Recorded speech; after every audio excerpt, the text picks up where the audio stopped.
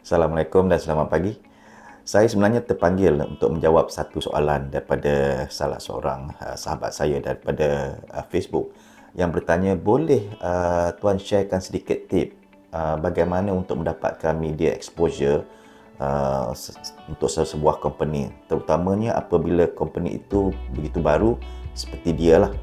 Jadi sebenarnya soalan ni sama apa yang saya uh, hadapi ketika saya bangunkan uh, startup saya Fabric pada April 2017. Uh, memang tidak dinafikan bahawa saya merasa uh, iri hati juga cemburu uh, apabila melihat kawan-kawan yang seangkatan dengan saya ni mereka kerap kali muncul dalam TV, uh, radio dan juga surat khabar. Jadi kemunculan dalam media ini adalah amat penting bagi setiap uh, founder ataupun CEO uh, sebab mereka perlu muncul dalam media ini untuk memberi exposure uh, kepada startup mereka ataupun produk-produk mereka lah. Tapi bagi saya, uh, saya melihat ada lima saluran eh, bukan setakat TV dan uh, radio, tapi ada lima. Yang pertama ialah seminar ataupun conference ataupun panel session. Yang kedua dalam akhbar, surat khabar atau online ataupun offline. Uh, ketiga dalam majalah uh, keempat mungkin masuk radio dan kelima yang paling baik ialah masuk TV. Jadi untuk muncul dalam saluran-saluran yang kelima ini ada dua topik yang selalunya dibincangkan oleh uh, setiap uh, CEO atau startup. Yang pertama uh, ia menceritakan bagaimana pengalaman mereka dalam jatuh uh, bangun startup uh, mengenai produk mereka bagaimana mereka dapat uh, scale ke seluruh dunia. Yang kedua uh, selalunya topik-topik ini ialah dia mendapat jemputan sebagai keynote speaker. Jadi ataupun ahli panel yang boleh uh, bercakap menceritakan memberi idea dalam topik-topik yang mereka pakar lah maknanya dalam teknologi ataupun dalam bidang bisnes mereka. Jadi tidak mudah sebenarnya kita nak masuk TV untuk ditemu bual ataupun dalam sesi panel atau radio sebab soalan yang mereka beri adalah secara spontan. Ialah mungkin ada juga soalan-soalan yang bocor di mana mereka memberi soalan lebih awal tapi kadang-kadang bila moderator itu begitu cekap dan uh, natural mereka akan memajukan soalan-soalan yang spontan. Jadi kita terpaksa berfikir uh, secara spontan jugalah untuk menjawabnya. Uh, jadi mungkin masa yang lepas pada saya masa jauh, sebelum kita buat startup ni saya pernah bekerja di syarikat-syarikat yang besar, corporate dan sebagainya, agensi yang besar. Mungkin saya tidak mengalami mengalami masalah sebab uh, kami telah di di di, uh, di uh, kenalkan oleh uh, kita punya corporate uh, corporate form untuk masuk media dan TV ataupun uh, surat khabar. Itu mudah sebab mereka sudah sediakan syarikat corporate dan mereka ini lebih terkenal. Tapi kalau kita dah buat startup siapa yang kenal kita? Nah ini yang masalahnya. Mungkin orang tidak kenal kita. Kita terpaksa uh, mencari jalan untuk uh, untuk kita ni startup dikenali. Jadi saya hampir ketahuan idea selama satu tahun, dua tahun bagaimana untuk uh, menonjolkan diri. Uh, jadi apa yang saya buat sebab saya telah mempunyai uh, Alhamdulillah mendapat uh, dalam bidang saya teknologi IoT ni agak baru jadi saya menggunakan peluang ini untuk uh, menceritakan ataupun uh, berkongsi pengalaman ilmu ini kepada ramai orang. Jadi saya dijemput uh, banyak di syarahan-syarahan di universiti di seminar di conference. Akhirnya mendapat uh, status sebagai keynote speaker. Jadi you know, pada awalnya keynote speaker ni penting sebab kita adalah uh, penceramah yang awal. Jadi mereka ramai yang akan mendengarnya pada uh, waktu pagi kan. Jadi akhirnya ia mendapat mendatangkan hasil yang banyak sebab saya dapat uh, tawaran uh, untuk ditemuduga dalam akhbar dan majalah tapi satu lagi saya masih lagi gagal untuk masuk radio ataupun TV uh, apa yang berlaku ialah uh, titik tolaknya pada uh, kan sebelum tu saya kata, saya katakan di pada diri saya kalau kalau saya tak dapat masuk TV, saya akan buat YouTube channel saya sendiri. Ha, TV saya sendiri. Ha, itu yang pada tahun 2019 dalam bulan Ramadan uh, saya buat vlog ataupun buat FB live. Uh, itu setahun yang lepas, hampir setahun yang lepas. Setahun lepas bulan Mei 2019.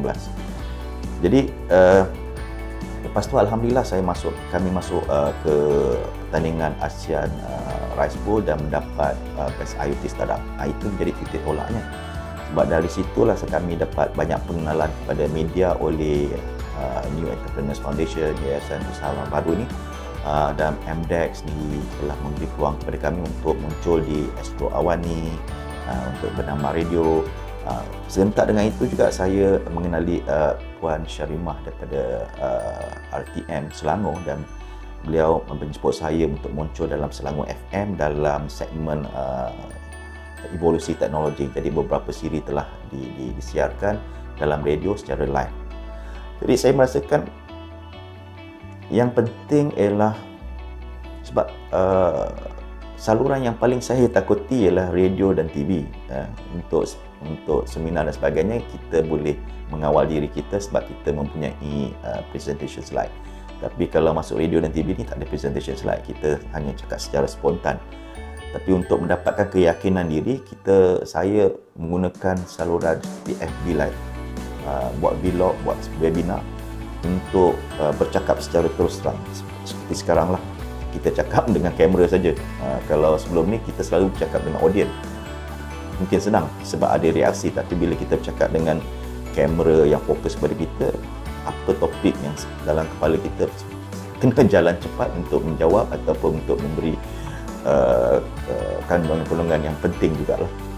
Jadi di sini saya ingin uh, ceritakan ada lima rahsia uh, untuk uh, dapatkan media exposure ni.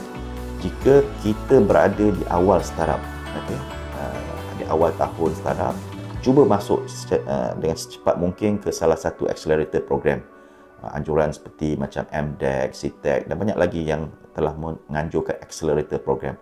Jadi dalam accelerator program ni kita kemungkinan pada akhirnya kita uh, program itu kita ada peluang untuk buat demo day uh, tunjuk pada investor dan mungkin ada juga uh, media yang berada di situ. Mungkin dapat perhatian daripada mereka. Kedua kita jika kita dah mula mendapat market traction cuba masuk dalam pertandingan startup mungkin ini adalah cara terbaik untuk dikenali ramai orang sebab bila kita masuk pertandingan selalunya mereka akan bertanya bagaimana anda telah mendapat customer, bagaimana anda mendapat customer, bagaimana anda akan scale dan di manakah market anda yang akan anda uh, perkenalkan di masa akan datang.